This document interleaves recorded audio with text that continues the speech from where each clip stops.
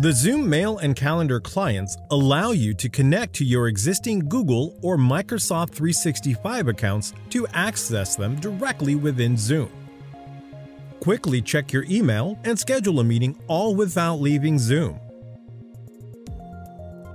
Be aware that if you don't see the mail or calendar options along the top of the Zoom app, you are either on an older version of Zoom and need to update, or the features have not yet been enabled by your Zoom account administrator. Now, for certain paid accounts, the mail and calendar services are Zoom hosted options that result in a new, unique email address. You can have a Zoom email address with the zmail.com domain, or for Zoom One business accounts or higher, deploy with a custom domain.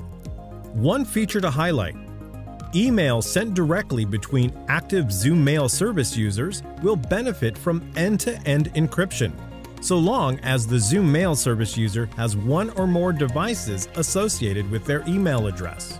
So simplify and consolidate your workflow by integrating your mail and calendar with Zoom today.